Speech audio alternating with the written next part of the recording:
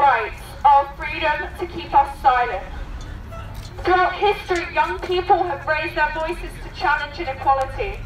I will not be silenced. I will not look back on my youth with the shame of inaction. They don't speak for us.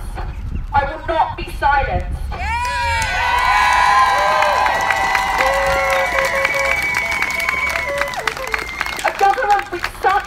Huge majority gives them toxic power.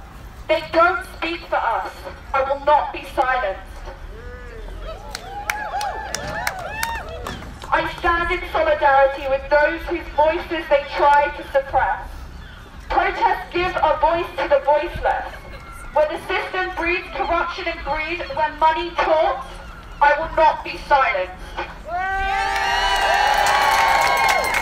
We stand here and we are not silenced.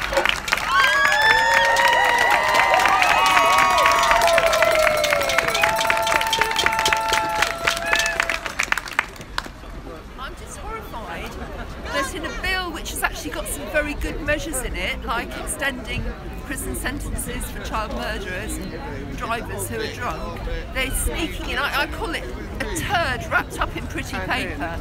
They're sneaking in an absolute undermining of basic human rights in a democracy. You know, we're meant to be the mother of democracy. Well, I think we are in the middle of a fascist state now. It's it's going that way. I'm horrified and miserable.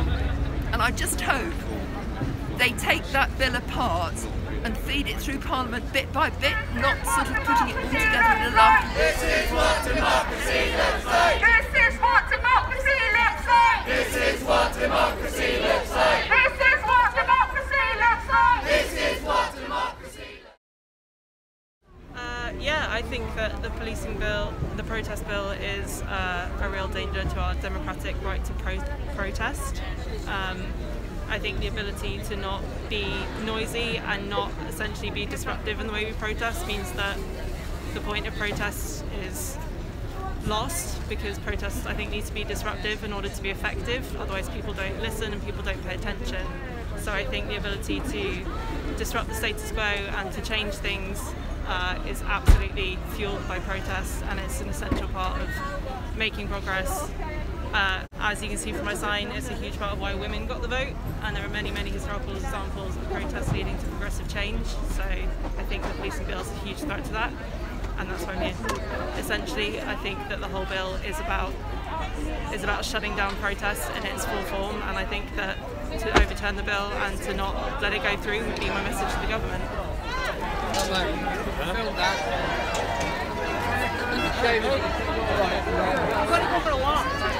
Your children's future as well.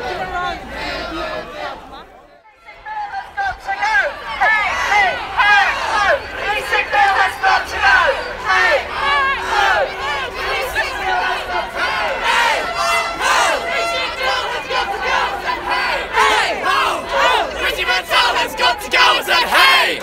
Ho!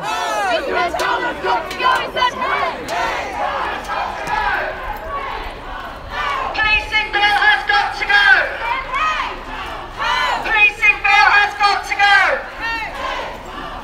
Policing bill has got to go.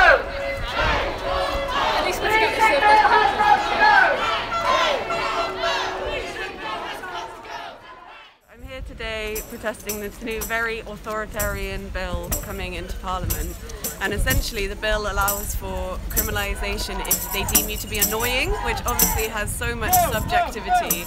And you can get 10 years in jail for defacing a statue. And this is at a time when we have Tory politicians who have been found to break the law by giving billions of pounds of PPE contracts to their friends and they haven't even lost their jobs, let alone they should be in jail. And now they're taking away our right to protest, and protest is an essential part of our civic liberties. Like, how the hell do you think women got the right to vote? Through protesting. How the hell do you think we're going to get any action on climate change without protest? Like, we've had long enough and no one's acted. And this is at a time when you know, people are waking up. You've seen mass movements for the Black Lives Matter. You've seen the anger after, you know, police, a police officer who was still on duty, who is still employed by the force, killed and murdered this innocent woman. And it's just it's just shocking to me that they are trying to push this authoritarian bill through. So please, please do everything you can to kill this bill.